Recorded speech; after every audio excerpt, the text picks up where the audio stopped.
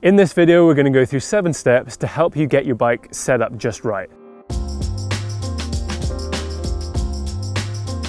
Whether you've just taken delivery of a new bike and you want to get it set up before you go riding, or whether you've had your bike for ages, there may still be something in here that could help you get more out of your bike so your bike is more comfortable and performs at its best for you.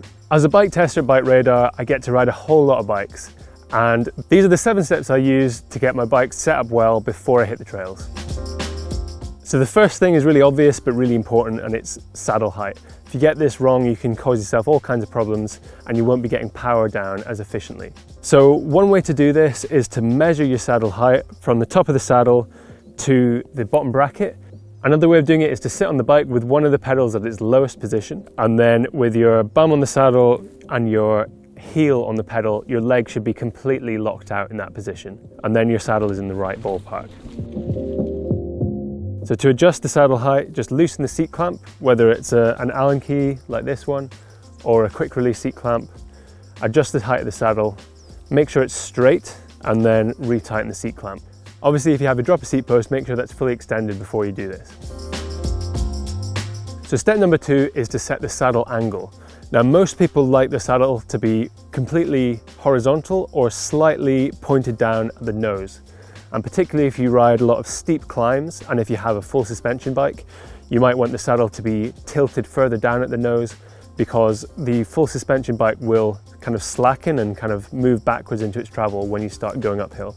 Most bikes have a twin bolt seat post nowadays and to adjust the angle of the saddle with one of those, you want to loosen one of the bolts and then tighten the other one. So if you want to angle the saddle down at the front, you'll loosen the rear bolt and then tighten the front bolt until the correct angle is reached and then tighten both bolts alternately until the saddle is secure on the seat post again. One more thing to think about, while the two bolts are loose, you can just slide the saddle on its rails relative to the seat post. Personally, I like to slide it all the way forwards with most bikes that effectively gives you a steeper seat angle so your hips are more forwards relative to the bottom bracket and that makes a bike much more eager to climb. Whereas if you ride on flatter trails or if the bike's a bit small for you, you may want to put it further back. The third thing to think about is your bar height. Now this has a really important effect on how the bike will handle, particularly when you're descending. Set it too high and you may find it's hard to get enough pressure on the front tyre when you're doing flat corners. Set it too low and you can find it's hard to get far enough away from the front wheel on steep climbs and it's also harder to push the bike into the back of steep chutes. This step may take a few rides to find a position that you're most comfortable with, but generally speaking, taller riders will want to set it higher and shorter riders will want to slam it much lower. So to adjust your bar height, you first want to loosen the bolt at the top of the steerer tube and fully remove it along with the top cap. Then loosen the two bolts that sit at the back of the stem. Then you can slide the stem off the steerer along with any spacers and then put spacers below the stem to raise the bar height or put spacers from below the stem to above the stem to lower it.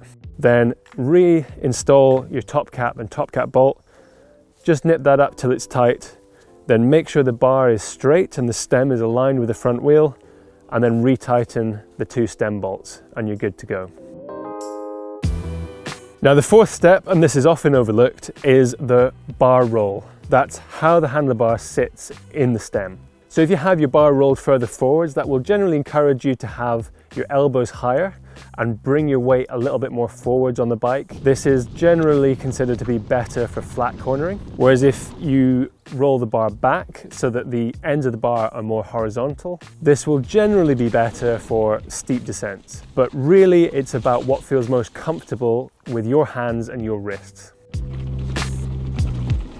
So to check your bar roll, first line up your eye horizontally with the handlebar so you're looking at it straight on and then you want to roll the bar so that the grips are just pointed slightly up from horizontal. Oftentimes they'll be pointed down from horizontal or really pointed skywards, but if they're just up from horizontal, I find that's a really good place to start.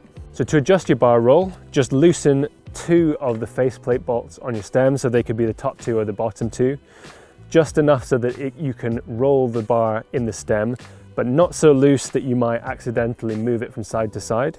And while you're doing this, it's a good idea to check that your bar is perfectly central within the stem. Then you can roll your bar either up or down and then retighten the faceplate bolts and then recheck to see how the bar roll is looking. And remember that like bar height, this is something that you might want to come back to and adjust later on.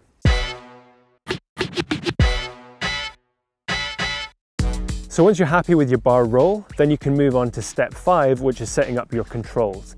And the first thing you want to set up is the brake levers. So with your hand resting comfortably on the grip, you want your index finger to sit naturally just inside of the curved bit at the end of the lever blade.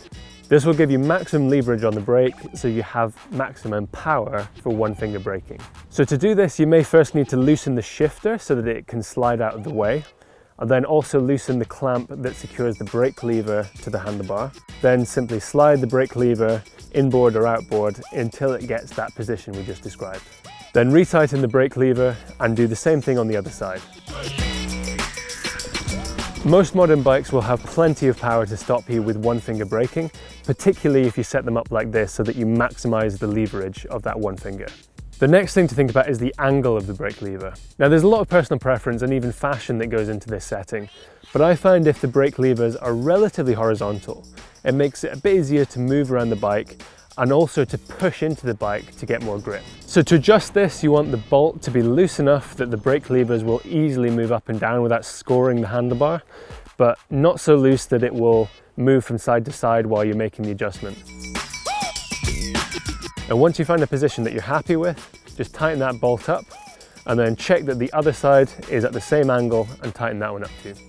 So in a similar way to the brake levers, you can move your shifter and your dropper post remote if you have one, inboard and outboard, as well as moving them up and down on the handlebar until you find the most comfortable position. Now in some cases that may involve swapping the position of the brake lever and the shifter around. Step number six is to check your tyre pressure. Now what tyre pressure you want will depend on a whole range of factors, but generally speaking for mountain bikes, somewhere in the 20 to 30 PSI range is about right. You see a lot of people with a lot more than that, and really there's no reason to go above 30 PSI on a mountain bike these days. To check your tyre pressure, the best thing to have is a digital tyre pressure gauge. These cost about 10 pounds, but they will give you a really accurate, consistent, precise measurement. But if you don't have one of those, uh, the gauge on a track pump will be absolutely fine for most people. Then the final step before you can go ride is to set up your suspension. Now there's a lot more to this than the other steps, so we've made a whole video on it, and we've left a link to that in the description below. This video covers everything you need to get your suspension in the right ballpark, including setting your sag, your rebound speed, and getting your suspension to feel balanced from front to rear. I think it's well worth going through that whole process, so check the link below. So that's the procedure I use to get my bike set up. I really hope it helps you to get more out of your bike. Let us know how you get on in the comments below and don't forget to like and subscribe. And if you click the little bell icon, you'll get notified whenever we upload a new video. Thanks for watching.